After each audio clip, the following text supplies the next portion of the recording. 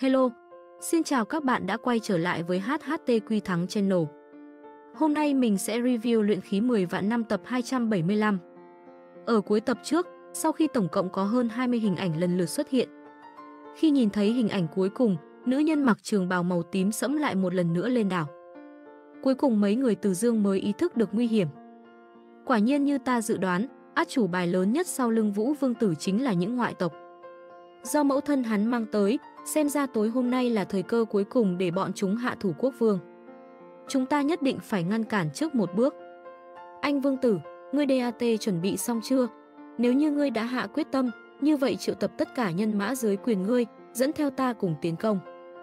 Từ Dương vô cùng nghiêm túc nhìn anh Vương Tử, chờ đợi lựa chọn của hắn. Anh Vương Tử đã không còn lựa chọn nào khác, dù hắn không đành lòng thương tổn huynh đệ ruột thịt của mình nhưng hắn nhất định phải suy nghĩ cho sự an toàn của phụ vương và mẫu hậu hắn. Tất nhiên Vũ Vương Tử đã liều lĩnh, như vậy anh Vương Tử cũng không thể nương tay. Không có gì để cố kỵ nữa, người dám đụng đến phụ vương mẫu hậu của ta đều là kẻ địch của ta. Từ giờ trở đi tất cả sức mạnh thủ hạ đều thuộc quyền chỉ huy của các hạ. Ngươi nói làm thế nào chúng ta sẽ làm theo. Từ Dương hài lòng nhìn anh Vương Tử gật đầu. Yên tâm, ta tuyệt sẽ không đi NC ho ngươi thất vọng, bây giờ ngươi có bao nhiêu nhân thủ. Băng giáo chiến đoàn có khoảng 3.000, mặc dù nhân thủ không nhiều nhưng mỗi chiến sĩ đều là người tinh nhuệ nhất trong toàn bộ băng tuyết thần triều. Từ Dương mỉm cười, đủ rồi. Ngươi lập tức triệu tập bọn họ đến nơi này, chúng ta cùng tiến vào Hoàng Cung, ai dám ngăn cản chúng ta giết không tha. Nửa giờ sau, 3.000 băng giáp chiến sĩ hoàn toàn tập kết. Với tư cách là chỉ huy đội ngũ, Từ Dương mang theo những người trong đội của mình cùng 3.000 băng giáp chiến sĩ cuồn cuộn tấn công về phía Hoàng Cung. Ven đường cũng gặp phải không ít cấm vệ quân dưới quyền Vũ Vương Tử, dưới sự dẫn đầu của đám người từ Dương căn bản đã hoàn toàn nghiền ép những kẻ có ý muốn ngăn cản. Rất nhanh, đội quân đã đến cửa Hoàng cung bắt đầu triển khai đối mặt với cấm vệ quân Vũ Vương Tử. Anh Vương Tử, phong tỏa Hoàng cung là mệnh lệnh của Vương Thượng chẳng lẽ ngươi muốn kháng chỉ? Muốn trở thành tội nhân của toàn bộ băng tuyết thần triều. Người lên tiếng này chính là phó tướng dưới quyền Vũ Vương Tử, cũng là phụ tá đắc lực của hắn ta A Nhĩ Tháp. Bớt nói nhảm, mau tránh ra, ta muốn lập tức gặp phụ vương và mẫu hậu. Ha ha, chỉ sợ ngươi mãi mãi cũng không có cơ hội này, anh vương tử chịu chết đi. Phải thừa nhận tên gia hỏa A Nhĩ Tháp này có thực lực rất mạnh, nhưng trước mặt Từ Dương mà còn dám còn dỡ thì chỉ có con đường chết. Rất nhanh Từ Dương đáp lại hành động của hắn ta. Trong nháy mắt, Từ Dương đằng không mà lên, tu la kiếm trong tay từ trên không trung đánh xuống phong mang vô cùng kinh khủng. Dường như trong khoảnh khắc đá A Nhĩ Tháp ra ngoài kết giới phòng hộ, với chút thực lực của ngươi mà dám phát ngôn bừa bãi trước mặt chúng ta, thật nực cười. Các chiến sĩ, xông lên cho ta. Lập tức quân đội hai bên đánh với nhau, Từ Dương cùng đám người trong đội của hắn phát huy thế lực mạnh mẽ không thể xem thường. Một mình Long Khôn có thể ngăn cản hơn trăm người, Lăng Thanh Thủ Linh Giao bên cạnh mở ra thông đạo. Từ Dương và Vô Song là một đôi tổ hợp hoàn mỹ, trực tiếp chính diện chống lại hơn ngàn hộ giáp quân đoàn của đối phương. Trong chiến trường, từ Dương và Vô Song đồng thời phóng xuất một sức mạnh rực rỡ như long đằng. Trong chốc lát, ánh sáng một đen một vàng đồng thời tập kích về hai hướng. Chỉ một đợt tán công nhỏ, mấy ngàn cấm vệ quân của đối phương đã bị đánh bay. Trước sức mạnh vô song của Từ Dương, A Nhĩ Tháp đã bị chặt bỏ hai cánh tay, cả người cuộn tròn trên mặt đất như sâu kiến, rên rĩ đau đớn. Đây chính là kết cục của việc ngươi và Vũ Vương tử cấu kết làm việc xấu. Không nói lời thừa, Từ Dương đá bay cả người A Nhĩ Tháp ra ngoài, tiếp đó dẫn dắt đại quân dưới tay tiếp tục đi về phía trước.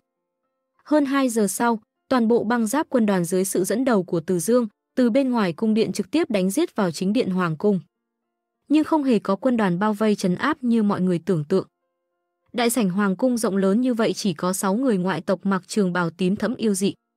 Không nhìn rõ mặt mũi hình dáng của bọn họ, nhưng nữ nhân dáng người xuất chúng đứng chính giữa kia chắc là mẫu thân của Vũ Vương Tử. Ha ha ha, mấy chục năm không gặp, Tiểu Anh, ngươi đã lớn như vậy rồi. Thì ra là yêu nữ ngươi, ngươi đã giấu phụ vương và mẫu hậu ta đi đâu. Nghĩ không ra bao nhiêu năm trôi qua, ngươi vẫn không lễ phép như vậy, đúng lúc để ta dạy dỗ ngươi nên làm người như thế nào. Giọng nói yêu nữ tràn đầy mạnh mẽ dụ hoặc, nhưng rất nhanh khi toàn thân bà ta lóe lên.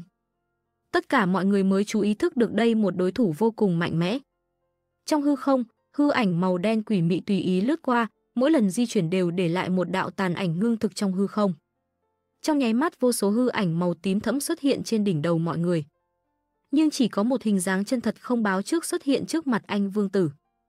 Tốc độ rất nhanh ngay cả Từ Dương cũng không thể phát hiện.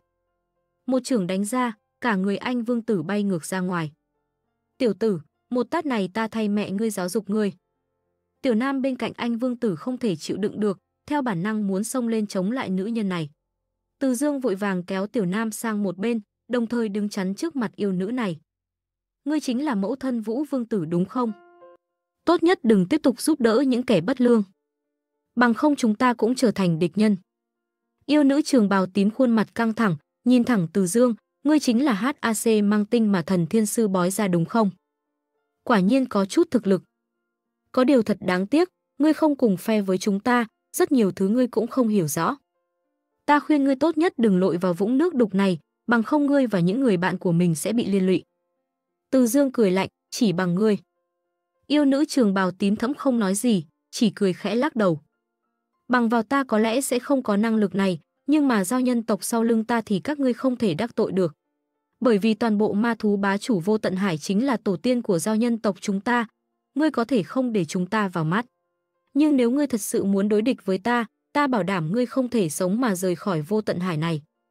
Từ dương nhịn không được cười lớn, không biết bao lâu rồi chưa có ai nói chuyện như vậy với ta. A Dương ta muốn đi không ai có thể giữ. Một cỗ sức mạnh vô cùng lớn bộc phát từ tay trái của hắn, từ Dương đảo khách thành chủ, chủ động đánh về phía yêu nữ. Hôm nay, ta thật muốn xem bá chủ vô tận hải giao nhân nhất mạch rốt cuộc cường đại thế nào. Tinh khí của Từ Dương nữ nhân này không thể nắm giữ được, trong nháy mắt khi hắn động thủ, yêu nữ liền cảm nhận được hắn rất cường đại. Đến đây thì cũng khép lại tập 275 luyện khí 10 vạn năm. Xin chào và hẹn gặp lại các bạn ở những video tiếp theo.